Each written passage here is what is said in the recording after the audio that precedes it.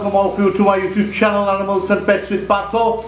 Uh, today I'm going to talk to you about stray dogs. Uh, the stray dog situation in our country is really alarming. Uh, it is also heartening that there are so many uh, uh, people, small groups, uh, organizations, even individuals all across who are so much conscious and they take so much care about those dogs.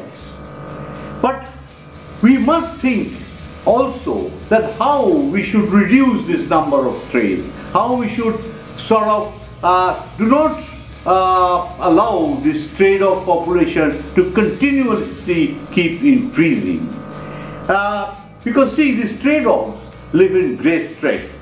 They are begging for food, for food all day. And okay, you provide them with food. But what happens is the care is not there. So what happens? They don't live their full life. Uh, most of them uh, die of accidents, road accidents, and uh, if they don't die, they are crippled. And then what happens is, uh, even if you feed them, then there are dog fights where they get injured, and then those injury uh, the, uh, sort of uh, which need to be tended to, uh, uh, nobody is there to look after it. And then what happens, there are maggot wounds and that eats into the dog and finally it dies.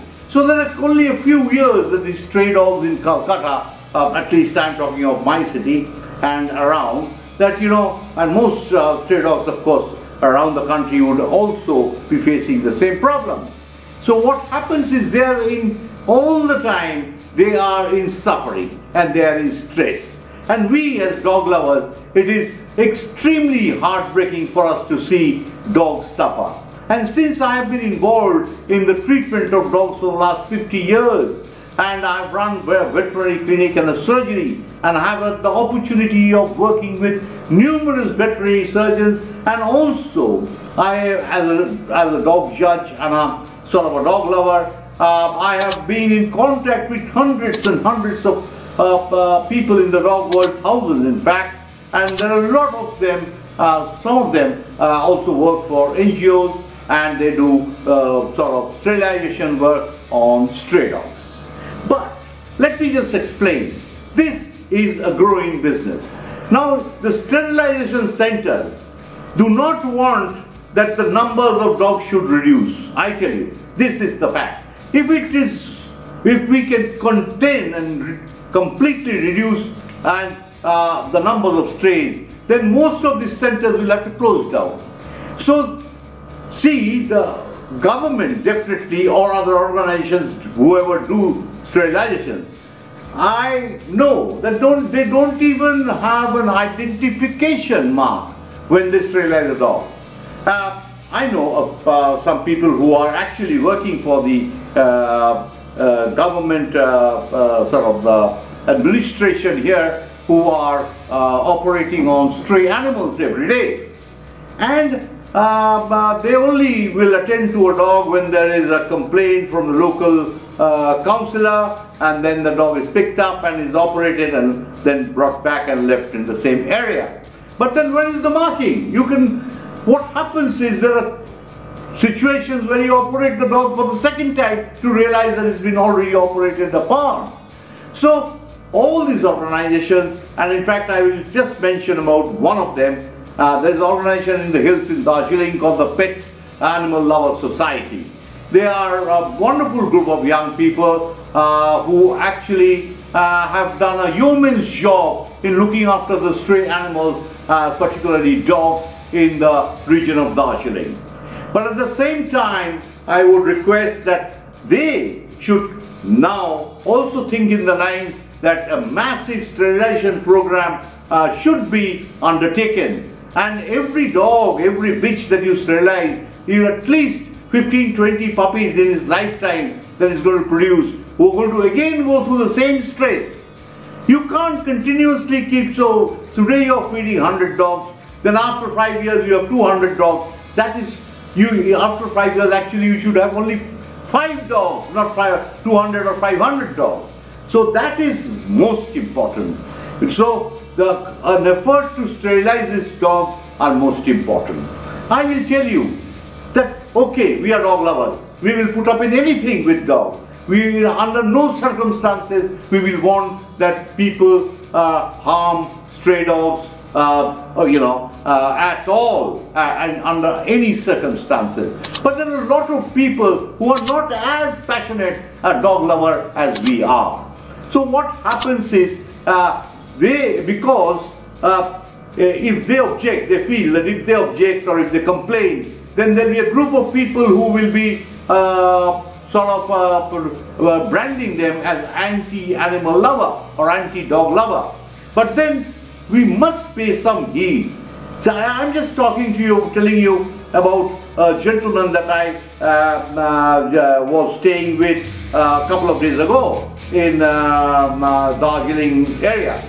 Uh, he runs a beautiful homestay there. And he's, I know he's a dog lover, he's an animal lover. He's a very, very reasonable person. And then when I was mentioning about this sterilization program to him, just telling him that this is how it should be done, we should not allow more and more dogs to be bred or beggars, uh, dogs that are begging should not be producing more dogs uh, that would be again begging for food and shelter and uh, looking after. So we should reduce the numbers. We must realize that so that they have a good life. Then they're, they're not under stress. Say every six months they get pregnant and they deliver a litter and they are searching for food for themselves and then for the for those little uh, uh, just to have milk so that it can uh, keep the puppies alive.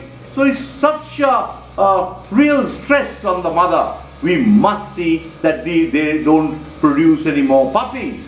And so he just mentioned that I was in Sikkim. Yes, it was, it's very true because I was in Sikkim and I couldn't sleep. There was so much of uh, stray dogs uh, barking in the night.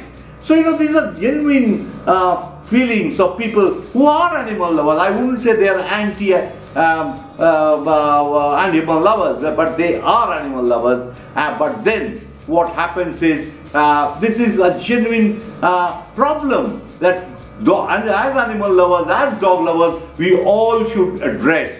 And uh, uh, I, uh, I know uh, the, whatever, I am not trying to complain about the people who are already involved in the sterilization business, but I would suggest that this uh, the dog lovers whose heart goes out to take care of the stray dogs on the streets and they're feeding them day in and day out, they should, uh, these are these people who have the right mentality to uh, end their suffering, at least go in, the, in that direction.